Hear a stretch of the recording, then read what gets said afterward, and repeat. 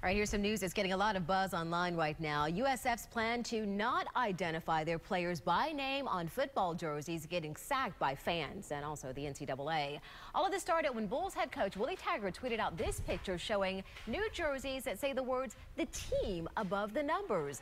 But it turns out the NCAA does not approve saying putting the team in place of players' last names violates association rules. So after all of the hoopla, USF announced that it is dropping the plan and the jerseys will stay blank instead.